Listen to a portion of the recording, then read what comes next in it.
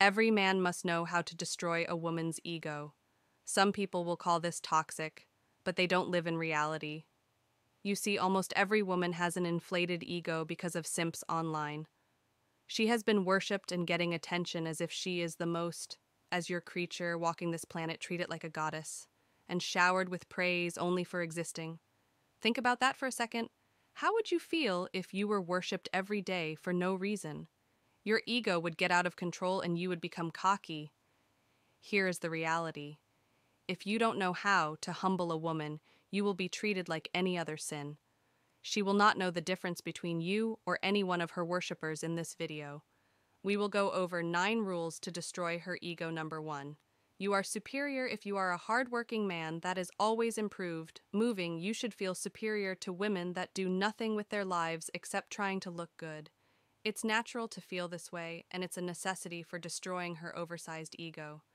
People will say this is toxic, but here is the truth. Women look at most guys as their inferior. She considers simps and average guys to be beneath her level.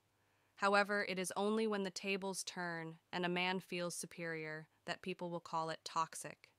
At the same time, women are hypergamous.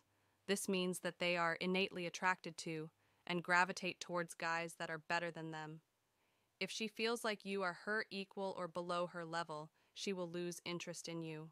Listen, the politically correct thing to say is that we are all equal and we should see each other that way. The reality is that it's unnatural to consider someone your equal if you outperform the person in life. Imagine going to the gym and training like an animal.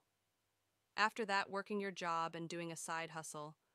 Would you consider a lazy bum that is playing video games and fapping all day to be to be your equal? You could say you do if you want to be politically correct, but deep down you don't. It's the same for an attractive woman that has nothing else to offer. Sure, she may look good and that has value to a man, but it's nothing compared to the daily effort and hard work many gods put in when you feel superior. You will both consciously and subconsciously regard her as nothing special or her life. She has been put on a pedestal, but this might be the first time someone doesn't do it. It will deflate her ego and bring her back to reality. Number two, do not seek her validation. Feminine that they seek Mini validation from girls. So. They will ask her what she thinks about his gains, his hair, or perhaps something else about his looks. Some guys will even ask a girl if she loves him. If you do this, you are not behaving as a man. But that's a little worm. Any masculine and confident man would never do this. There is no need for him to seek validation from women as he is confident within himself. He does not fish for her compliments or wonder what she thinks about every little thing seeking approval from a woman, is the number one way to inflate her ego to the moon. Leave craving for approval to women number three. Do not always validate her looks. Women get countless compliments from people every day. You are no different from the next guy. If you always tell her how pretty she is, or if you send her an emoji with hard eyes. In fact, this makes you one of the other million guys that are standing in line pathetic when all other men put her on a pedestal and compliment her. There exists one high value man that doesn't do it. She will pick up on it quickly and realize that all those desperate elements she's been receiving are worthless. Do not misunderstand it. I am not saying you need to play mind games and never compliment a woman, but when you compliment her based on something she hasn't earned, you are putting yourself in the same box as all the other guys that compliment her every day. Instead, it's better to compliment her on accomplishments or good behavior she has put effort into as well as her manners or a good outfit. She put on number four prioritize your goals above her as a man. Your purpose should always come first. Most guys nowadays don't have a purpose or throw their entire schedule out the window to see an attractive woman. They behave like hungry dogs.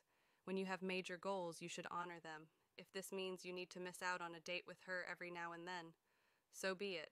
This will show her that this will bring her ego down and she will inherently respect you. Number five, don't be so eager to be with her. Most guys get too excited when they get a chance to meet an attractive woman. This also shows they lack a higher purpose, as we have discussed before. Listen, listen, you can't both chase each other. When you're the one that is overly excited, you are leaving her no room to be excited about you, and you force her to take a back step.